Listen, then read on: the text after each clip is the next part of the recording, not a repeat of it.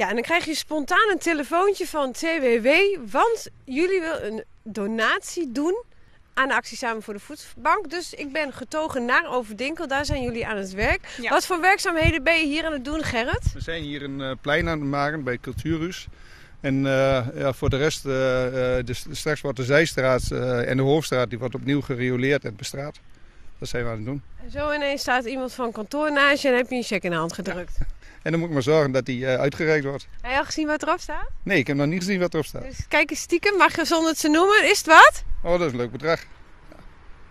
Waarom, Romy? Waarom schenken jullie aan, of, eh, aan de actie Samen voor de Voedselbank volgens namens TWW?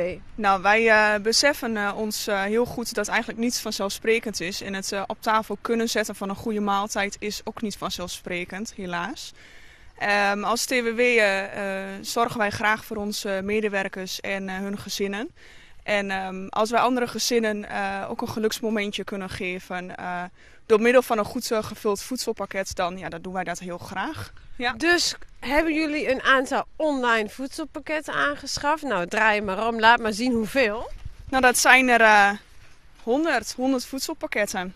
Gaan 100 wij, eh, voedselpakketten, 1000 euro van. TWW voor Samen voor de Voedselbank. Fantastisch. Ja, en dat kunnen we, eh, ja, dankzij eh, de dagelijkse inzet van onze mannen, kunnen wij dit bewerkstelligen. Nou, mannen, bedankt.